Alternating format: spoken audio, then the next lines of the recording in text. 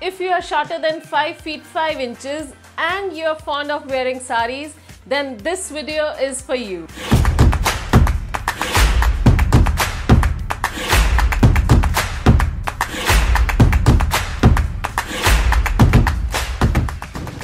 Hi, welcome back to our series on fashion and styling.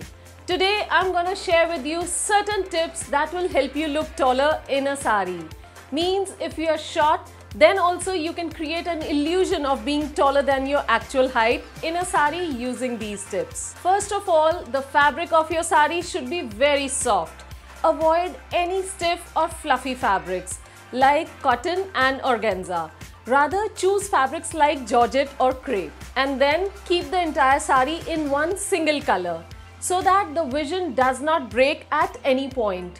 Means if your height won't break in parts then automatically you're gonna look taller. There are certain saris that have different colors for the pleats part and the pallu.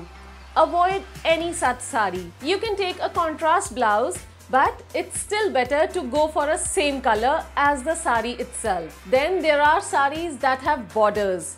Avoid these if possible, especially the ones with very broad borders. Choose something that doesn't have any borders or has thin borders.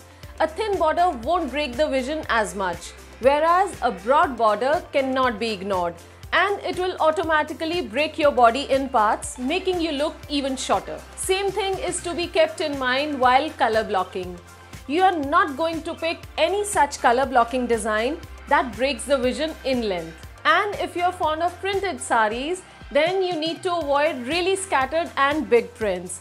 Instead, prefer smaller or busy prints that are a mix of random small designs. If you like pleated pallu, then keep the pallu length long enough to go down till below your calf length and not something ending midway till your knees or something. This is quite an important point and plays a major role in giving you more length and a sophisticated look. And if you've got a big belly, then don't pleat your pallu. Instead, drape it loose and tuck it here beneath your elbow and put a safety pin. Some people are really used to keeping the length of their saris little above the ground. Believe me, this looks so tacky. Don't let the sari end above the floor. Rather, keep the length fully till the floor. Now, let's talk about blouses. Avoid closed neck and high neck designs if possible and prefer deep necklines like U-neck or V-neck.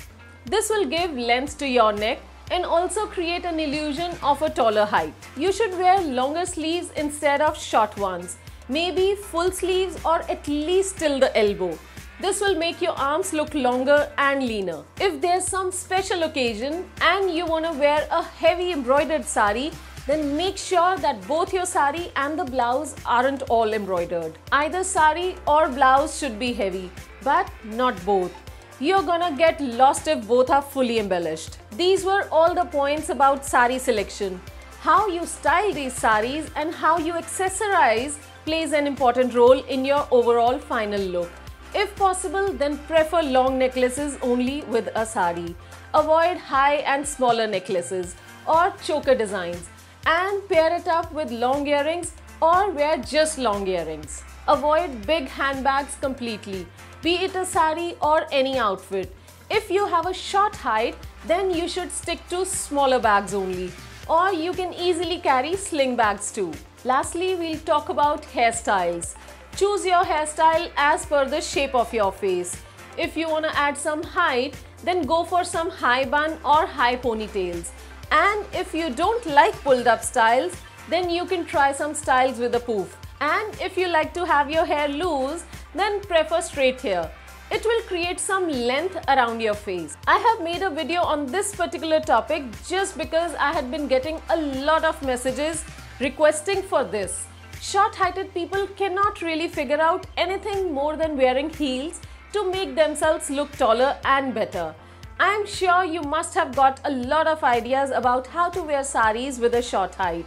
If you want to see a video on any topic and if you found this video helpful, then do let me know in the comments below. I would love to hear that. Till then, do share this video and subscribe to my YouTube channel. Thank you so much for watching.